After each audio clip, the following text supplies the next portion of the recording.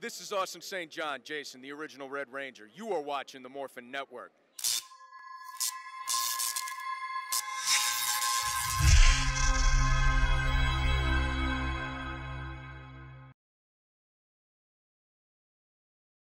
So hello everyone, this is Morphin Network. It's me, Ryan, aka Dagger Boy, and my partner Clement, aka Red Star. And we have a special guest today. It's All right. the Blue Lightspeed Rescue Ranger, Mike Chat. Thank you guys for having me. I'm excited. Um, I'm actually sharing uh, this on all of my pages right now. Uh, so give me a second. So I'm sharing it on my personal. Uh, I'm sharing it on my official verified Mike Chat XMA page. And I've been working with this uh, Facebook group, and uh, they have all different martial arts stuff that I want all of the Power Ranger community to know about because, you know, we do so many uh, cool things on, on, the show. You guys, the fans, do so many amazing things to support the actors and the show. And I want the rest of the world to know it, not just Ranger fans, but martial art fans. And so there's this site called Martial Tribes uh, that I'm going to share this on, and they're the largest on Facebook. And you know, they're always looking for interesting content, and we have a series that we're doing with them. And uh, so I'm going to share it because I believe that that uh, these interviews are valuable. Uh, people want to hear uh, from the actors, from people that were on the show. I mean, you know, t- over 25 years now of Ranger history. You know, it's one of the top shows worldwide still. And so, uh, yeah, I'm going to share this right now. And uh, yeah, uh, give me 30 seconds. Go ahead and uh, talk more to the people. And I'm going to share this, and we're going to be good. Yeah, guys. So you guys don't know, Mike's an XMA fighter, Extreme Martial Arts. He's also yeah. So yeah, he's a legendary Power Ranger. What can you say? and also, you guys don't know this, Mike. You were actually the first season I watched when I was a kid. No way. I'm serious. I Because like Oh I didn't have cable. I didn't have cable when I was like till I was like five. And then like literally, Life Rescue was the first season that came out on my TV. So thank you for starting this journey. you and your team. Uh, absolutely, my pleasure. We are we're good. All right. So first question, Mike, tell us about yourself. Well, uh, I am the former uh, Power Rangers Lightspeed Rescue Blue Ranger. It was an incredible opportunity. We'll talk more about that. But uh, I grew up doing martial arts uh, for pretty much my entire life. And I was able to have the privilege to work on this show, be part of the Rangers legacy. I then continued on to help many people in different areas, developing martial art curriculums for the industry, martial arts industry, teaching, acting. Now I'm producing and doing many things, and uh, we'll get into all the details. But um, you know, I I got into martial arts watching voice dub kung fu movies on TV, and that's how I got started. Uh, I'm a huge fan of uh, Japanese uh, manga and different shows. Spectre Man actually was my favorite as a kid. As corny and cheesy as it may be, that was uh, amazing to me. And so then I had some friends that actually worked on the Power Rangers show as I grew older, and I thought, I want to do that. So uh, I had the opportunity to, and here I am. I'm, I'm living in Los Angeles, California. I travel all over the world helping people uh, train in martial arts, students, uh, instructors, school owners, developing leadership and legacy training programs. And I'm, I'm very lucky to, to, to be able to do what I love and help other people at the same time. So, Mike, my next question is like, how did you get started with acting? It, it all it all started from watching those voice dub kung fu movies. You know the ones where it's like, let's fight, right? it's like they would, Yeah. they, they would mouth the words and then here we go, right? And then and then watching them fly through the air, do like 20 moves in a fight scene, weapons, everything, and then land in these amazing poses. I always thought I want to do that and mm. that's what got, my, got got me started. So ever since I can remember, all I would do is mimic the actors that I saw on TV, whether it was the martial arts or whether it was the lines that, that they said. You know, my kung fu is better than your dragon fist, right? and and just imitating and mimicking. You know, that was the dream. And so I didn't know any better. Okay, I want to take martial arts. I got to learn. Then the school that I went to did did tournaments, and so okay, well, I guess I should compete if I want to be the best and do movies. Then I need to be a competitor. So then I competed for many years, won my titles, and then many, many, many martial artists from my tournament circuit, the North American Sport Karate Association, they went on to do TV and film. My instructor, one of the biggest, uh, uh, longest standing tournament promoters in the country, uh, John Sharkey, he has the AKA Grand Nationals in Chicago, the American Warrior Cup. It's, you know, the most amazing trophy ever. Uh, so he connected me with all these people, but from Ninja Turtles to Karate Kid, uh, stunt doubles, some of the actors, uh, all the way, all the way through, you know, some of the biggest Hollywood films. Then these these tournament competitors were cast from the circuit to then do these stunt and these acting roles. So for me, that was it. I was like, okay, well then I need to be the top, not just junior competitor, but when I get to the adult division, I need to come out of the gates as number one if I want to be considered. And that that's how it ha- happened.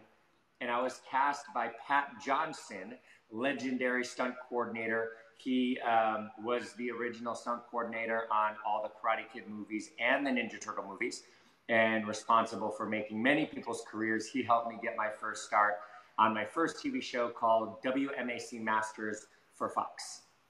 Mm. Awesome. Mm, amazing. All right. Um. So next question: How do you get started with martial arts? Yeah. So then, literally after watching it on TV, then uh, I told I'm I don't know. I must have been three years old or something. That's all I can remember. And my parents were always saying, "Oh no, it's too dangerous." And my dad, my father actually did Muay Thai because because uh, that part of my family is from Thailand. Then uh, he he did Muay Thai when he was younger. Nothing professional or anything, but um, you know, both my parents, you know, they had said it's too dangerous, not until you're eight years old. All I can remember is them saying, not until you're eight years old. So you better believe for my eighth, eighth birthday, that's what I wanted. We went to three different schools, settled out, settled on one, and that's when I got started with my martial arts training. Mm. Mm, amazing. Not until you're eight years old. All right, the next question. So my next question is, can you tell us the audition process for Power Rangers for your series? for my series, so coming into this, I had no idea it was going to be six auditions. Um, you know, first audition, I'm nervous. I get a call back. I'm excited. I go in. I'm nervous. I get another call back. I'm excited. I go in. You know, you do the same thing one or two times, then they change, and here's a new set of uh, audition material. You got to learn the new ones, coach on it. And uh, five auditions later, we have uh, a producer director session. And um, that's it. They tell us, great, we're going to make our decision. You know, they, they, this is like over the course of almost three months. And then they sent out contracts and everything. And like, we thought that was it um, then there was actually a little uh, a little hiccup in the process. Um, one of the actors who was given a contract um, didn't work out, and this is where uh, Keith Robinson, the Green Ranger, who plays Joel Rawlings, uh, he was the next person in line. We had to come back a sixth time and then there was another uh, there was another uh, producer director callback, and in this one, Koichi Sakamoto, the second unit director, fight coordinator, he was in the room. He had just come back from Japan. Koichi is the one responsible for for helping to recreate the show with all of the action uh, to make it what you know it is today. And uh, he recently left the show. Yuji uh, Akihiro Noguchi took over, but uh, Koichi Sakamoto was the mastermind behind all of it. He designed the action, he shot it, he edited it, he, he made that whole thing happen. And he was in the room. I knew him because I worked with uh, uh, Yuji Akihiro uh, on WMAC Masters, but he didn't know I was even in the running until that morning when he came in. So I had thought that I was, I was, you know, there and got through this whole process because he knew that I was a top martial artist, but it wasn't the case. So it was an interesting process for me. You know, I had to work my way through with the other 7,000 candidates, and it came down to, to five. So, uh, really, really amazing process. I learned a lot, and that was how I started my journey as a ranger. That's and now you're our legendary Lightspeed Rescue Blue. yes. Can you briefly explain your experience while in time filming Power Rangers? Uh, you know, we we would need much more than 30 minutes to explain the entire process uh, and experience. you know, what I can say is this: the most amazing thing about Power Rangers is that it's global. To be part of it, and this is what I told uh, the six actors that I helped to train, some more than than, than the others, but for uh, for Power Rangers Beast Morphers, there is no other show that that uh, kid show that when you when they air the first season, the first episode, it goes into worldwide syndication. People all over. It's not just shown in one country; it's shown all over the place, and then throughout the year, you know, it, it winds up being seen in many many territories all over the world it's global. And everything about the show is glo- global. The name, Power Rangers, it's recognized throughout the world, no matter what language you're in. Um, young and old, people know the brand, people know the image of Power Rangers. It invokes an emotion, it invokes a visual um, that is representative of inner strength and power, teamwork, uh, superheroes, right? Ordinary people doing extraordinary things and the idea of transforming from an ordinary person to something spectacular. That's what I love about it. And everything from the writing, Judd Lynn uh, or Chip, uh, who wrote my episodes and is still writing the episodes of the show as the executive producer in New Zealand, um, you know, to the, the team, uh, the stunt team coming from Japan and working with uh, all of the Japanese stunt guys and the American stunt guys, and many of the top American stunt guys that started on that show. Um, Hiro Koda, David Wall, Lynn Oding, uh, Eric Betts. Uh, I mean, many of these incredible stunt people have now grown up to then be stunt coordinators, fight directors, uh, second unit directors, and first unit directing. Uh, we'll talk more about that because I have a I have a great story for you. Uh, but um, you know, shooting 42 episodes in a normal season, which typically uh, you would shoot 22 episodes in a normal season for a year. But now it's not 22, it's only 13 episodes with shows like Netflix, Hulu, and Amazon. So to think that we did 42 episodes in one year, and actually filmed it in eight months, where now if you shoot eight months, a lot of times you're only shooting 13 episodes. The amount of experience we got was incredible. Rotating directors, rotating stunt people, uh, you know, the, the locations that we got to shoot in. Uh, when, when people say, man, you're living the dream, I feel like I'm living the dream every day. Not just living here in Hollywood, but being, being able to be creative and, and bring, bring this type of programming and, um, you know, and impact and influence to the world, you know, in a positive way, work with charities and foundations like Ronald McDonald uh, House. I mean, just Make a Wish Foundation, and this for me, this continued. Uh, you know, uh, until now. You know, this is just part of what I do now. So it all started on Rangers. So yeah, amazing experience. Any fun behind the scenes moments or any fun memories that you that you have while working on the set of Power Rangers? what was fun is when you see my um, my beauty shot at the beginning of the show, where you see me jumping off the killer whale diving into the water, and then I come out of the water, right? So the expression on my face is uh, is quite interesting because uh, they said the pool was heated that I dove into that morning, and it wasn't. And so I was expecting, you know, it to be cold, not that cold, but it was so cold that that I could not, I could not, I could barely move. So the only thing that I could do to put on a smile was open my mouth that wide. So if you go back and watch the beauty shot, you'll see I'm not doing a regular smile. Like I'm not waving like this. My mouth is like like that, which is way too over the top, even for a kids show. But it's because I was so in shock from the cold that that was all I could do to smile.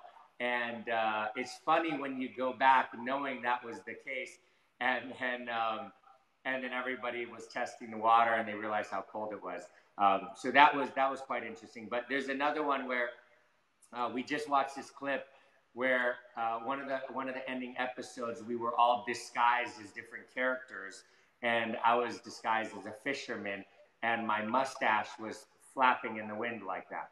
I don't know if any of you remember that, but if you go back and you watch that episode, you're gonna see my mustache flapping. That that wasn't that wasn't on purpose. It actually happened during the take, and then Oh they God. used it because it just it was actually quite funny but it, it looks like it was staged and it wasn't. So um, that that's one thing to watch for. But uh, here's here's the most memorable moment. You ready for this one? Mhm. Okay. There were many memorable moments on the show, but let's fast forward to 2018. I am in uh, I am in uh, a party for the, the ESPYs, so the ESPN Awards and I get a text message from this actor who was a stunt double at the time. He was doubling Brad Pitt and Van Damme and, and Matt Damon. And I had been training him along with his partner uh, who was stunt doubling Keanu Reeves. So uh, his goal was to star in a movie. Well, uh, I couldn't help him star in a movie, but I could help him get a guest starring role on Power Rangers. So I was able to get him on. He auditioned, casting approved him, and and we had a great episode with uh, this this famous stunt double turned fight coordinator, stunt coordinator, second unit director. You might know him as the uh, stunt coordinator, second director from Mad Max. He did many films with Charlize Theron and now he has broken into Hollywood's elite.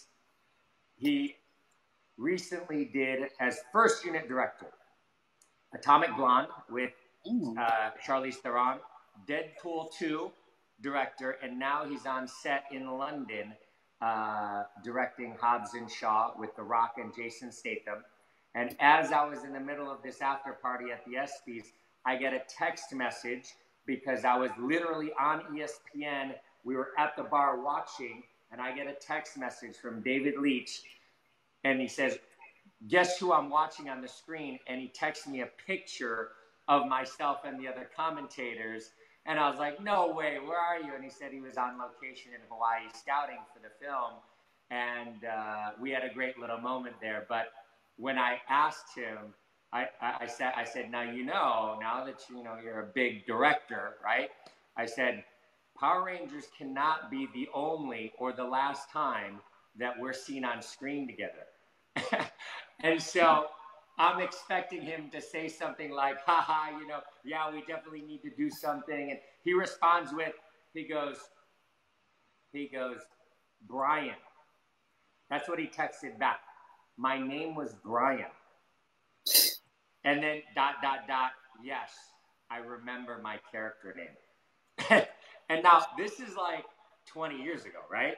And uh, it's just so crazy one for me how time flies two how you know you you start when you're younger and you have this great collaboration with people and now he's big, a big first unit director and he's you know making headway and headlines in, in hollywood but what stood out to him was playing that character and he's like you know that was one of his favorite characters that he ever played because typically he's behind the scenes not in front and so uh, he remembered his character name so if you go back, I've actually got a Power Ranger demo reel. You could, I think Mike Chat Power Rangers. If you look at that, we I have the fight in there, and you can see the fight clips. But that's David Leitch. Uh, I mean, he doubled Brad Pitt in you know Fight Club and a lot of those films, and now he's the first unit director for Atomic Blonde, Deadpool, and, and the up and coming Hobbs and Shaw. So um, many people don't know that, but that was that character, Steve O'Brien. awesome. Actually, I had to watch Deadpool again. um, so my next question is, can you tell more? Can you tell us more about? Can you tell us more about XMA? XMA Extreme Martial Arts. It's a mix of all different martial arts styles: uh, uh, acrobatics, dance, gymnastics, the performing arts. The whole concept was uh, not that we were creating a style. What happened was many people on the tournament circuit, TV and film, they were doing all of this Hong Kong style action. But that's what we called it Hong Kong style action. Nobody knew how to do it, or, or, or, or nobody knew how to teach it, except for the stunt professionals. Nobody knew where to go to learn it. So I had a unique opportunity after Power Rangers. I was approached by Century Martial Arts. They're our sponsor, our partner. Uh, they're the largest martial art company in the world. They're amazing. They have the best products. And Century, Frank Silverman, David Walt, they approached me about doing, you know, some work together, and we came up with this concept to create a program to help martial arts school owners and instructors deliver this type of training. Uh, you know, retain students in the martial arts schools, keep the excitement up, and then give give them something new, so this way they didn't, you know, they didn't quit so fast.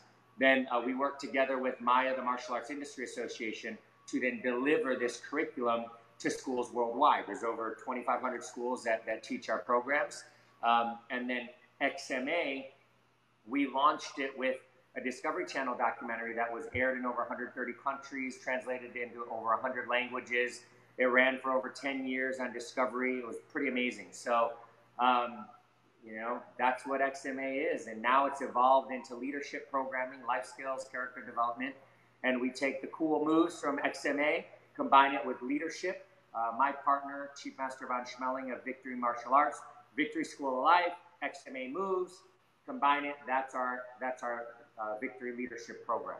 So now we go. I go around and I train instructors, help school owners, and we deliver, deliver leadership to help students and uh, instructors, business owners, professionals take their uh, take what they're doing to a higher level and to to lead more effectively. Awesome, amazing. That's really cool. Yeah. Uh, so, can you tell us your advice to any aspiring actor? Yes. Um, so, my advice to, to, aspiring actors in general, uh, and if you're joining us, make sure you share this on your Facebook page. It's going to help us spread this word, the word to all, all the people in the community. Okay. So just hit that, that, that share button right now.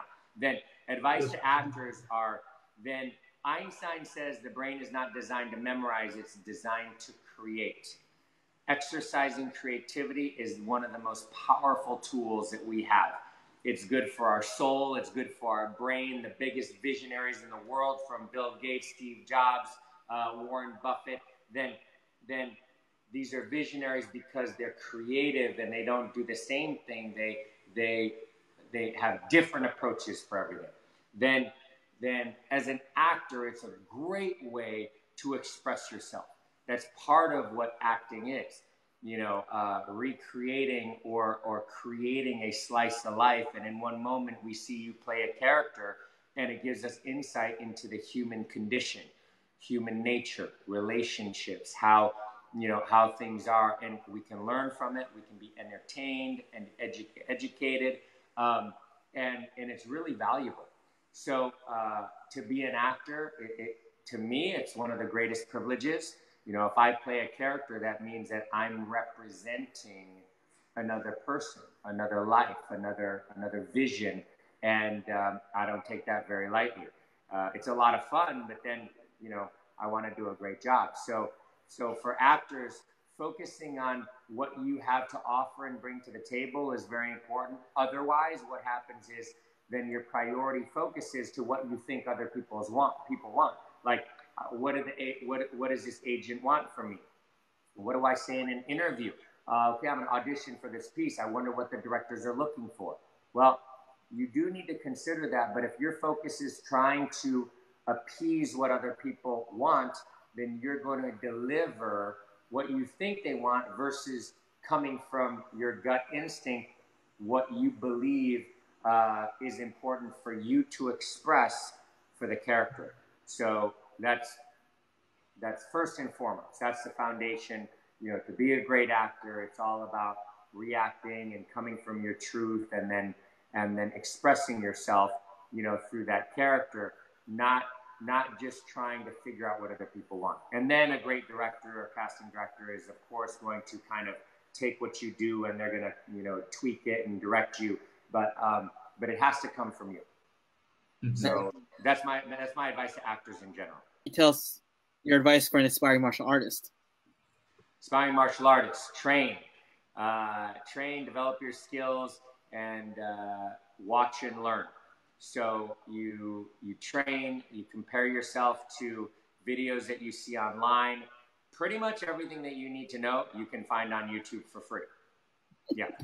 Then uh, why would people come train with me? Well, because in my class, and I focus on I focus on the life skills, the leadership part. My job is to help my actors and stunt professionals book more jobs. You are going to learn how to fight, do the choreography, uh, practice it, and film it.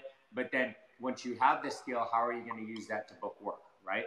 So as, mm-hmm. as a martial artist, then developing your skills, just don't get set on any one thing, because if you do want to use this for entertainment, then then rarely are you going to ever punch and chamber your hand like this. It's going to be more like this, right? Then then punching like this only, that's a good way to train traditional basics, but then be flexible and adaptable for any situation, whether it's for traditional training, competition, live performance, uh, stage performance, or actually for My last question is like, do you have any upcoming projects or events that you would like to share with your fans? There's a film that I just finished action directing called My Babysitter, the Superhero. We're in post production right now. That's going to be done by the end of the year. Uh, we've got some offers for domestic and international distribution. I had the privilege of working with this writer director, Billy Butler, uh, uh, a former Disney producer. So um, we've got a lot of projects that we're working on. So be looking for those. Um, then uh, the next event, I'm going to be in San Antonio, the 8th through the 10th. Uh, we've got some leadership training, legacy training. Whenever I do these leadership experiences around the country, because I'm not able to make it to, to, to the conventions, then we're helping out our martial arts schools and the schools in our industry. But then, in addition to that, these are open for the public. It's just a lot of distortion. Um, then uh, I typically will schedule things within three to four weeks time frame. I typically don't have the flexibility to schedule out further than that but then you can just keep checking my social media posts and when you see something when I'll be in that area. I would love for everybody to come out. Awesome. All right, guys, let's read your comments. so, okay. Helmut Rick, Rick, says, hello from Vancouver, Canada. Okay. Helmut says, okay. So, when, for me, when, when I saw all those batlings, and there was a an episode in particular where um, uh, a famous second unit director now, Andy Cheng, he's uh, I think he's second unit directing, stunt coordinating into the Badlands season three. Uh, one of our friends, uh, Lewis Tan, is on that show, and Andy Cheng came was just here from Hong Kong. He double Jackie Chan, and he was here to make his mark. And you know, Andy Cheng was on set in a Batling outfit, right? Um, it was it was amazing. Uh, for me, it was a challenge because, of course, as a martial artist, I wanted to do a great job for the stunt coordinator and for the stunt guys, and really have some great, great scenes. You know, I wanted to, I wanted to, you know, be part of the legacy. Um, so for me, it was amazing. Uh, anything, anytime I get to, you know, show off my action skills, then uh, you know, I'm 100% for that. And it was just an incredible learning experience uh, a great time, and we we got some incredible results. So I'm very excited about that. Uh, then let's see here. We got next PMC. Brown. Next PMC, if he comes, uh, would you would you and Sasha do handstands? so Ken Brown is asking uh, the next Power Morphicon if uh, Sasha comes if we can do a, a headstand rematch.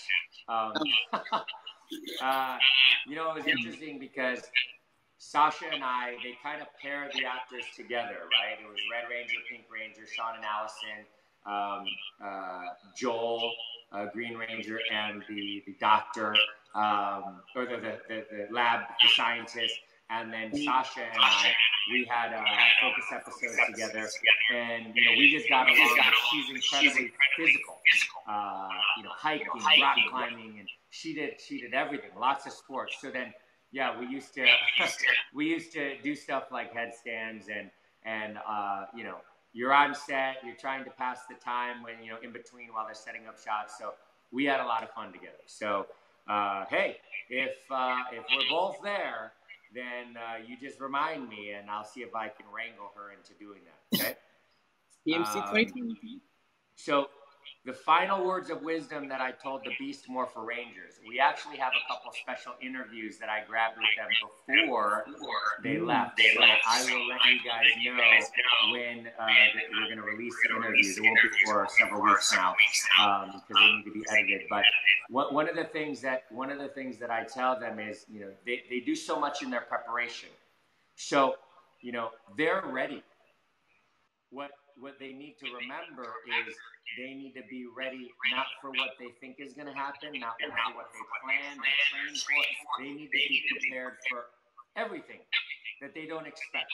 And when they're asked to do it or it happens, then they use their base and foundation so this way they can quickly adapt and then try and try and keep up and and and and keep up to speed. So the advice that I told them was, you know, be ready for everything that you don't expect to happen and enjoy it. Enjoy the moment because they're going to blink and they're going to be back here for Christmas.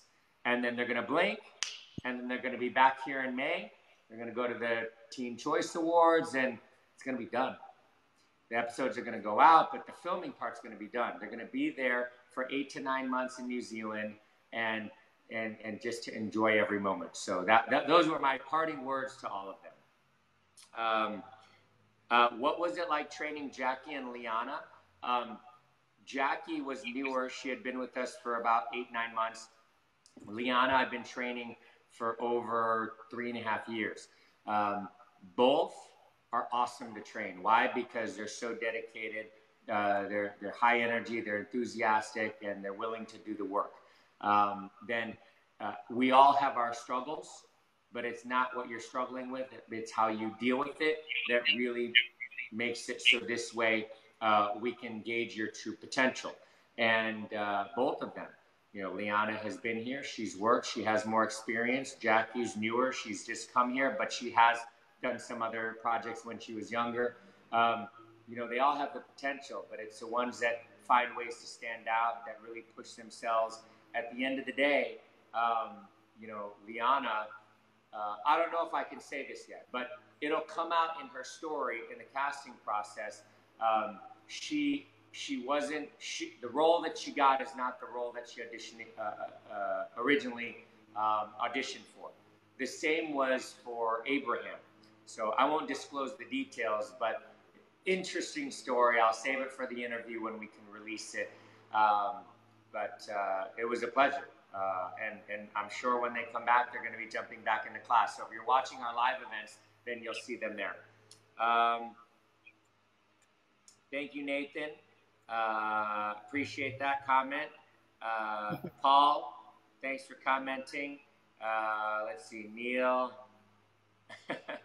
Hello from Neil. Uh, Joseph Eli is on with us. Uh, Christopher Soto. Um, did we hate wearing the same outfit each day? Um, you know, it's kind of like, like I go to my stunt class and I wear this shirt and black pants. You know, Steve Jobs said it best. At the end of the day, you only have so many good decisions that you can make. So, Steve Jobs, Bill Gates, Warren Buffett, uh, uh, Zuckerberg, they all say the same thing they wear the same clothes every day, so this way they don't have to waste a, a great decision on what to wear that day. So, so actually, it makes it a lot easier. Um, I, I didn't get sick of wearing the same thing every day. For me, as a martial artist, it was such an honor to be part of the show and to be part of the legacy. It was like I, I couldn't wait to get it on every day. You know, it's like I didn't want to take it off. So that, that's how I felt about it. Um, I don't know about the other actors. Uh, yes. Uh, the best and the worst of f- filming Lightspeed. The worst part, Oh man, the worst part of filming Lightspeed is when the show ended. And we filmed our last episode, and it was like, oh, what are we going to do now? Uh, because it, it, flew by like this. Um, the best part, aside from being able to guest star uh, and, and, bring David Leitch on, um, the best part of filming was the family that we created. Well, the Ranger team, uh, the production company, everybody was already a well oiled machine. It was a tight knit family. They accepted us into their family as, as newcomers. And you know, we just, we all felt like every time we got together, we just felt like it was family. And um, you're going to hear that from a lot of the Ranger cast that, you know, it was just like family. We became brothers and sisters. We became so close. And we have, we have memories and friendships that are going to last a lifetime. And so that, that was the best part about filming is because every day we went to work and, you know, we were excited. Like we all got along. We still get along. It's great. It's fantastic.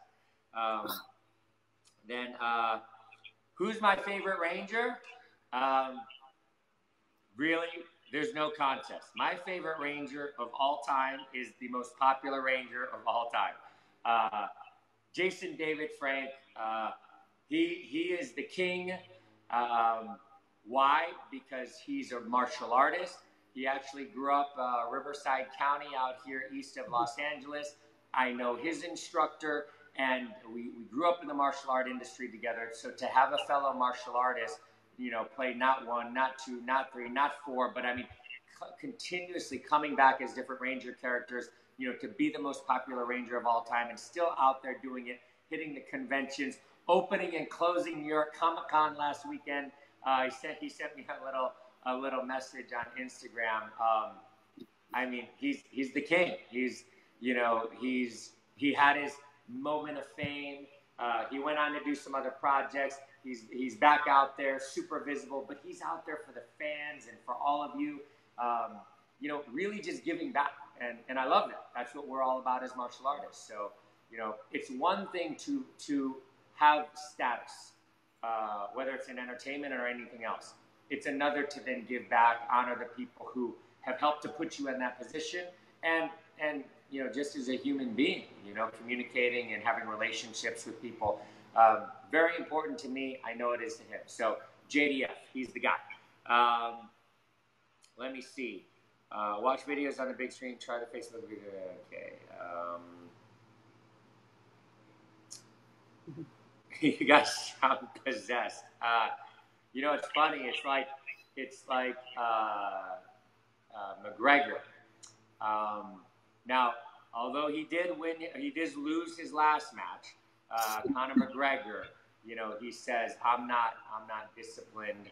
He says, "I'm obsessed," and you know, in order to reach the highest level of anything, you have to be obsessed about it. And and for me, I'm obsessed about helping people.